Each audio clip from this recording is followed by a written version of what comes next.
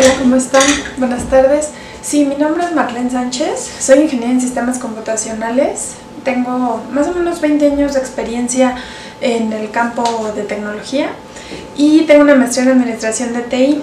Y bueno, eh, tiene algunos años que me llegó el sentimiento o, la necesidad eh, de comunicar todo esto que he aprendido, porque si, si bien cuando lo viví a lo mejor no supe cómo canalizarlo o no supe qué hacer en ciertas situaciones, creo que ahora pues es una muy buena oportunidad pues de pasarle ese conocimiento pues a, a, mentes, digamos que apenas están empezando, ¿no? Personas que apenas están empezando y que quieran aprender y evitarse dolores de cabeza en el tema de la gestión de tecnología. Entonces, eh, ¿cómo se llama este primer video? Se llama Misión Líder de Proyecto, ¿qué hago? ¿Ok? Entonces, ¿qué fue lo que hice? Eh, dividí en 10 pasos, ¿no? Eh, todas las cosas que a, mí que a mi parecer son importantes y que ustedes tendrían que considerar eh, como líderes de nuevos líderes de proyecto en sus organizaciones o en sus empresas. Entonces, ¿cuál sería el paso número uno? paso número uno es relájate y reflexiona. ¿no? Esto es un tema que normalmente no hacemos. ¿Por qué? Porque estamos como en el rush, en la locura, en resolver, en apagar fuegos, ¿no? Al momento en que entras un proyecto. Y más que nada para alguien inexperto, pues eso es todo el tiempo, porque todo el tiempo estás aprendiendo.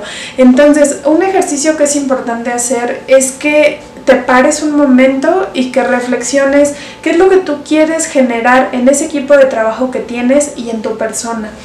Eh, para cada paso les voy a, voy a generar un video en específico con tips y con ciertos ejercicios que les van a ayudar muchísimo. Eh, ese sería el paso número uno. Ahora, paso número dos, identifica tu rol. Normalmente cuando entras a un proyecto, a veces o no te dicen el rol o a veces tú no lo sabes porque y más yo creo que pasa en las organizaciones que son de consultoría porque en estas organizaciones como vas cambiando a veces de rol entras a un proyecto y tienes otro rol entras a otro proyecto y tienes otro rol o incluso a, veces en las organizaciones donde se supone que te contratan para una cosa pero acabas haciendo otra cosa totalmente diferente y existe una línea muy delgada entre realmente lo que requieres hacer y lo que haces ¿no? entonces eh, en la medida en la que tú puedas identificar tu rol y saber cuál es tu aportación en la organización, entonces eso te va a llevar a otro nivel. Número 3, cambia el enfoque hacia la gente. Eh, normalmente, y más los computólogos, pues, me, lo, dicen a mí que para mí la computadora fue mi vida y la computadora, bueno, sigue siendo mi vida, pero ya otro, digamos, desde otra perspectiva, ¿no? Ahora, para mí lo más importante es la gente ¿no? La gente porque la gente, por la gente es que todos estamos aquí, ¿no? Por la gente es que los proyectos se terminan.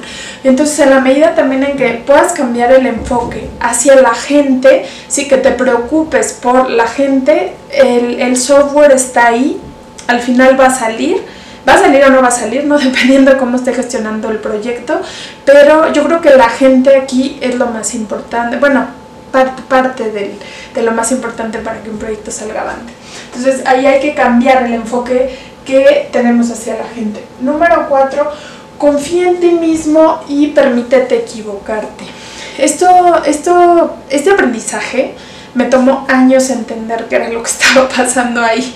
¿Por qué? Porque yo siempre fui demasiado perfeccionista, no me permití equivocarme, me estresaba, quería proyectar en las personas algo que no era, o sea, algo que yo no era, ¿no? Perfecta. Entonces, ¿qué fue lo que pasó? Que al final yo me di cuenta que eso, pues no me funcionó el, el buscar siempre la perfección. ¿Por qué? Porque en general los seres humanos, pues somos imperfectos. Entonces, en la medida en la que nosotros como líderes logremos reconocer nuestra imperfección y la de nuestra gente, entonces en ese momento vamos a generar un cambio en la gestión que estamos haciendo positivo. ¿Ok? Entonces ese sería el, número, el punto número 4. Ahora, punto número 5. Define un código de ética personal y respétalo.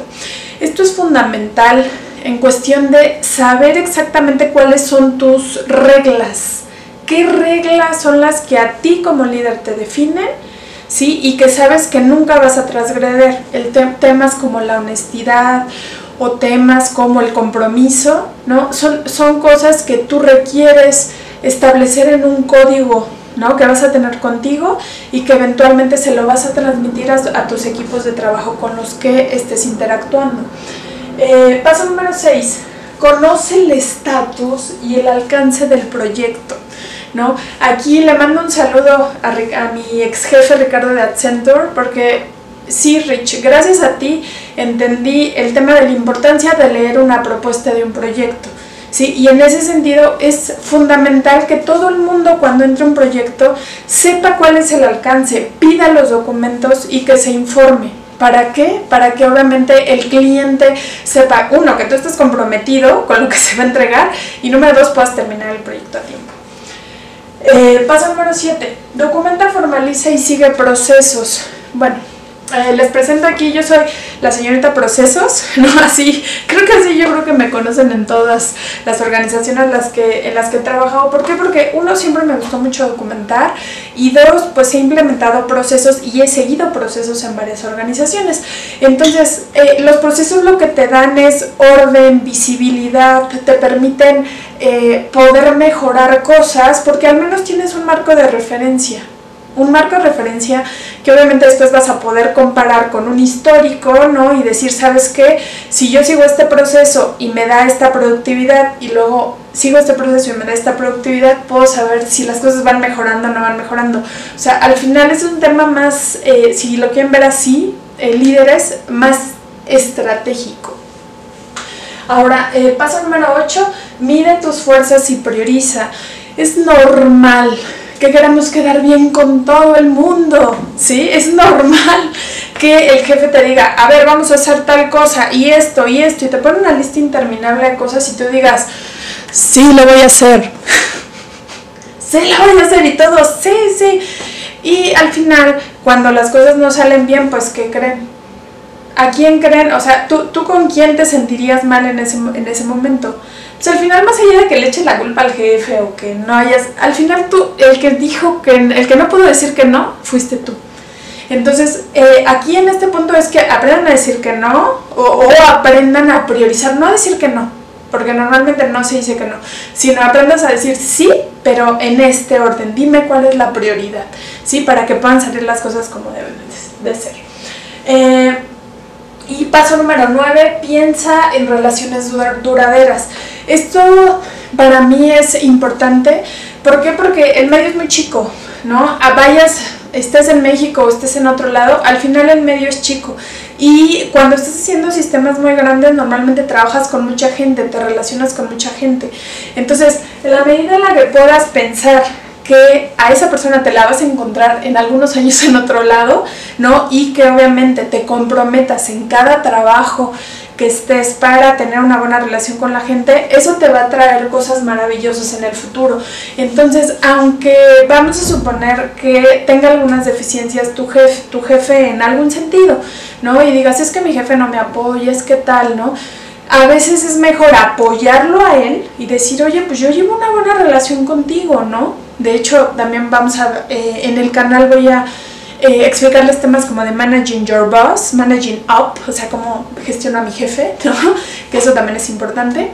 Eh, pero al final yo creo que es el ganar-ganar, ¿no? Que encontremos el ganar-ganar en todas las relaciones que tengamos porque esas van a trascender seguramente en el futuro.